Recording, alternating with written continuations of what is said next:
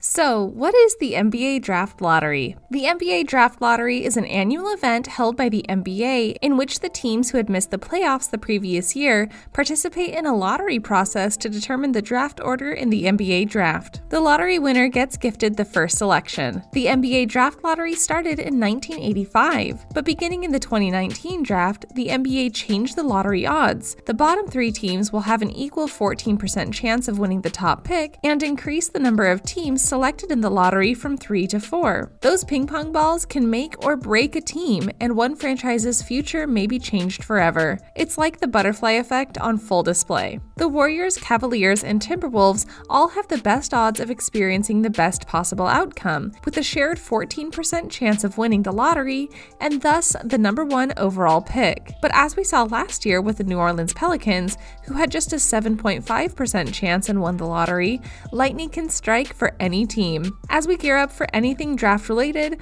we are going to run through six storylines to watch as this all gets sorted out. Now let's dive in a bit deeper. The first storyline we will talk about is which player will come away as the big winner. In the past years, everyone already knew who the first overall pick would be. Last year with Zion Williamson, or 2003 with LeBron James, there are just some years you know. But in this pandemic ruled year, it is still unclear who the top prospect in this class is. A lot of hype has been surrounding three particular players, those three being James Wiseman, LaMelo Ball, and Deni Avdija. There is a lot of speculation that Minnesota and Golden State might trade their picks, and other teams like New York are sniffing at moving up the ranks. And this is definitely a year where you won't know who the clear winners are as it might take some time to develop. But on the flip side, if there are trades and championship impact is felt immediately, for example, Golden State, then you can kind of start to gauge what is and isn't going to work. Another storyline is surrounded by the New Orleans Pelicans. The Pelicans hit the lottery, literally, last season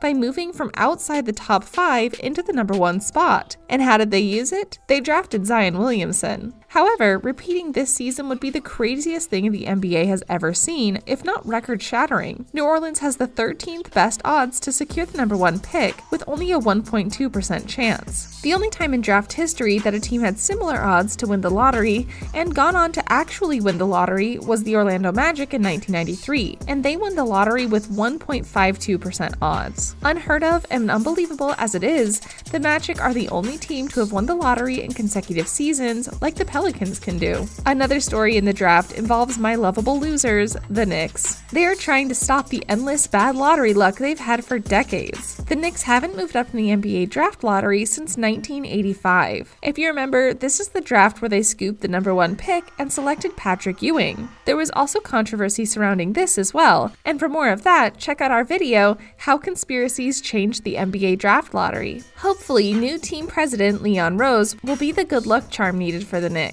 He's serving as the team's official representative for the lottery. Perhaps a new face will bring a turnaround of fortunes. The lovable loser Knicks have a 9% chance of winning the lottery and a 28% chance of securing a top 3 pick in the draft. If ever there was a year to move up, this might be a good one. The Knicks are in desperate need of a functional and quality point guard. Enter the possibility of LaMelo Ball or Killian Hayes, who would be a great change to see in the Garden. The Knicks' 9% odds trail only Golden State, Cleveland, Minnesota, Atlanta, and Detroit. Another possible outcome and storyline is if Cleveland can win out another draft lottery. I really hope not, considering they have gotten way too much in recent history, and it's time for someone else to reap the benefits of the top spot. The Cavs have won the NBA draft lottery more than any other team in the league the last two decades, resulting in some huge hits such as LeBron James and Kyrie Irving. But alternatively, they also had some big, big swing and misses with drafting Anthony Bennett. Yet again, after getting all these number one picks, we sit here again with them having a chance at the coveted top spot. They have a 40.1%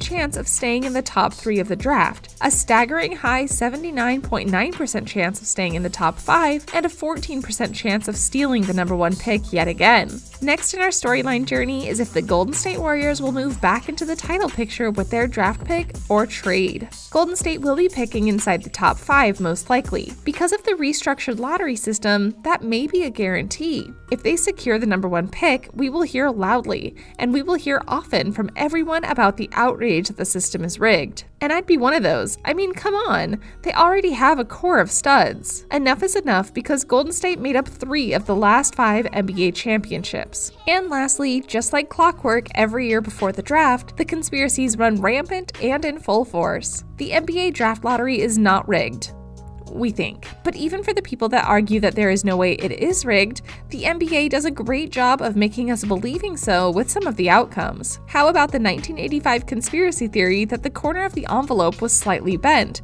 tipping off then Commissioner David Stern, who chose it, which would be the NBA's way of awarding the Knicks to come away as big winners in the Patrick Ewing sweepstakes. Or the theory that LeBron James's hometown squad, the Cleveland Cavaliers, winning the lottery wasn't a coincidental storybook ending. Or that Anthony Davis was the gift of sunshine that was promised for New Orleans as the franchise recovered from getting ravaged by Hurricane Katrina. This is why we love the NBA. There are always storylines and drama to fill us up with. Whether it's true or not is a different story, though. It's why the NBA Draft Lottery remains one of the most compelling and drama filled sports events of our time. I know I will be sitting back, ice cold beer in hand, and watching the story unfold.